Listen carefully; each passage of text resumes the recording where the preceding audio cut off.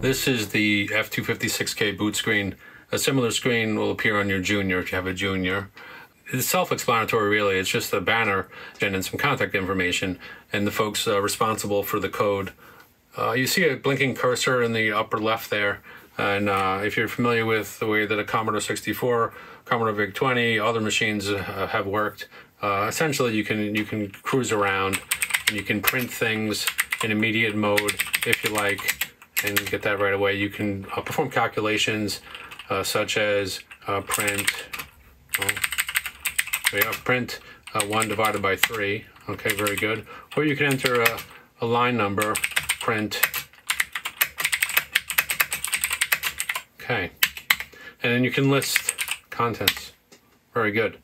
Now, the screen editor has uh, cursor keys, and as a modern machine, it uses the inverted T up, left, down, right uh, configuration.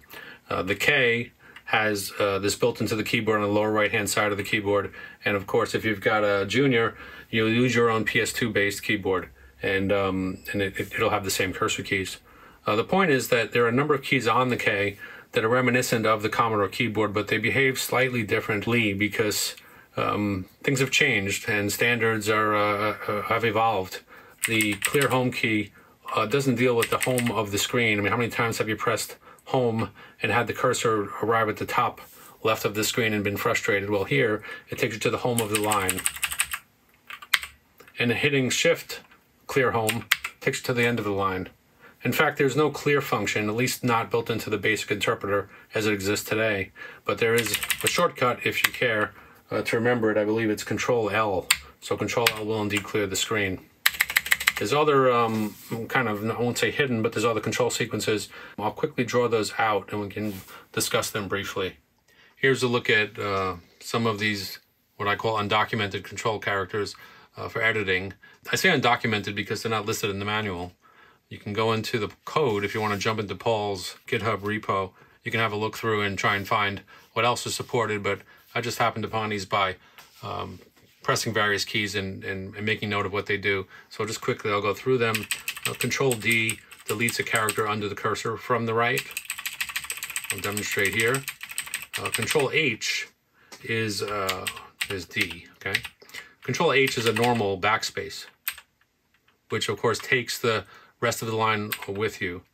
Um, uh, control A and Control E take you to the start of the line or the end of the line. So Control E pops me to the end. Control A brings me back to the front. Same as pressing Home and Shift Home. Uh, cursor up and down, which is Control P, Control N.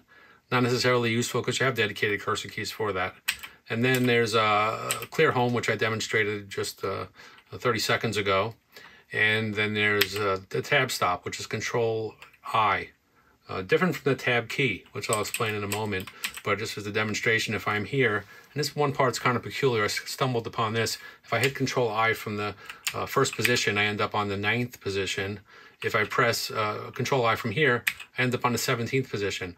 And in fact, from the rest of the way across the line, these are all eight characters apart, which is uh, interesting. But the first one jumps nine, I guess is the point. So let me go home here, and I'll just, again, if I was here and I press Tab, or rather Control I, it'd take me back to that spot. So the, the, the key point is that the, the, distance here is nine characters. The distance elsewhere is eight characters. I'll, uh, I'll, I'll, I'll, raise an issue with Paul, which is a GitHub issue that is, and uh, see if he uh, has a has a correction he can throw in there real quick. Otherwise, the tab key does nothing. It's a it's under user control, so you can use it in your application, do whatever it is you like. They're not going to uh, tie you to uh, having to advance, which isn't necessarily anything that um, is, is useful. But in an application, you may want the tab key to move you from menu item to menu item. Uh, so it's not bound to any core function built into the kernel. But at least in the screen editor, Control I will move the or advance the cursor. Um, anything else to mention here? I don't think so. I think that's about it. There may be more subsequent versions of the kernel and the basic and super basic will do things when you hit control uh, one, two, three, four, five in, in, terms of changing the color of the cursor, which it does not do today. But the keys are marked for it, so I'm, I'm sure it's something that's coming soon. With movement and special keystrokes behind us, let's talk a bit about the character screen on the F256 machines. Um, the screen in front of you has a, a kind of a, a little chart that depicts the horizontal carriage, if you will, of the screen from left to right um, as 80 characters wide and 60 lines tall. Um, in the middle of the screen, you'll see a blinking cursor, not quite the middle, but uh, upper middle. You'll see a blinking cursor, which represents the 25th line of the screen. And below, you'll see a countdown to the next 25 lines, bringing you to 50 lines uh, from top to at this point. The point is that the screen is approximately four times, actually it's quite a bit larger, than four times the size of the machines that many of us grew up with. That being an Apple II, uh, Atari 400, 800, Commodore 64, and others. Uh, some machines had obscure 32 characters per line or 23, 22 characters per line. Um, but the what we what we're used to is a 40 character widescreen. Um, the font on this screen, you're looking at the the, the built-in uh, default font, um, is eight by eight, just as the, the, the characters were in the kind of old days. Um, but it's much more readable, and the fact that we're plugging into a standard monitor allows us to have kind of single pixel width lines and strokes in the character set and have it be perfectly legible and, and nice and clear. Um, so what that provides you with is a, a canvas or, or a, a workspace to uh, lay out your data, um, uh, character-based graphics, information for things like adventure games, text adventures, um, trackers, anything that's going to use the text mode um, to be uh, expansive. Put another way, the crosshairs on the screen represent what would be a normal 40 character by 25 line or, or 24 line display. This would be the Apple um, II display, which had 24 lines. This would be the Commodore and Atari, I think, had, had 25 lines. So the point is you've got one, two, over here, three, four full-size screens, potentially, within this one screen with 10 lines to spare below. So that's somewhat dramatic and, and, and probably overlooked.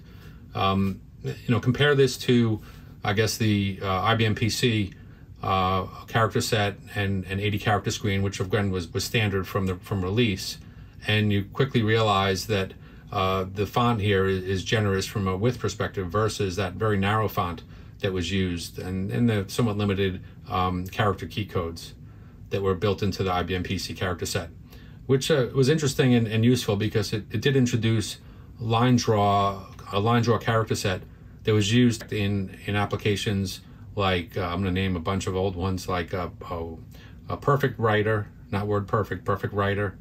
Um, uh, uh, Xtree was a, a, pretty good file editor back in those days. A bunch of them, you know, well before Windows 1 was released. Um, many of the applications which, which gave user drop-down menus used a lot of those graphic characters. But here, of course, we have a wider character set. You've got a nearly square um, character size and quite a bit of real estate to fill. So that's the first point I wanted to make. I should also add that the F256 um, does not offer three, four, five, eight different um, size screen. But from a super basic perspective, this is what you get. I'll have in a later uh, video uh, a feature on double wide and double high characters and how that could be used in interesting ways. Um, I've always appreciated the Atari character set and the fact that it that it offered that kind of out of the box, and the fact that you're dealing with a you know six point something megahertz CPU means that scrolling the screen and moving data around the screen uh, can be done with relative ease. And we'll demonstrate later how memcopy could be used or how inline assembly language can be used to really accelerate the drawing of, of characters on the screen, although it's not necessary considering the speed of Super Basic. A second topic I'd like to cover has to do with the Super Basic uh, set of commands that are valid. And as I mentioned in the introduction, uh, Super Basic is a derivative of a couple of different basics, so kind of a greatest hits of basics with uh, some tweaks that are a lot more like the BBC Micro um, Acorn Basic. Um, and we talked a little bit about that um, in, in, in, I think, the introductory video. We'll talk more about it later. But in front of you, you see a, a basically a rendition of every valid basic command, uh, operator, and print directive available in the Super Basic manual. And I've taken some care to type these in, hopefully accurately. I'd say it's 99% accurate. There may be one mistake here or there. But in front of you is a list of 110 commands. So these are the, these are the keywords that are valid, and I have them paired in some in some regard, such that if you look at proc in the right column, proc and endproc are in the same uh, kind of space together, but those are two separate commands. Um, I'd like to compare this to, again, the, the early 80s machines and the fact that um, Commodore Basic 2 or 2.0, which was arguably the most popular BASIC, not by choice, but by the mere fact that the Commodore 64 was such a high selling machine and came with BASIC 2.0, uh, had 70 or so, 71 commands, I believe. And a fair number of those commands were um, disk access and device management commands, not necessarily useful in, in this context. Um, but, you know, looking at this set, you can see families of commands. And this is listed in alphabetical order for the most part. But you can uh, scan it and understand that there's commands in here for manipulating images, um, various types of graphics, um, audio, um, joystick control, etc., uh, flow control, the assembler, um, uh, dimension arrays, memory allocation, memory copy using the, the DMA facility, and the list goes on. Um, in addition, there are poke and peek commands uh, that give you full access to all of memory. Um, and again, as I said prior, inline assembly language that can be used to, to do even more and squeeze more out of the system.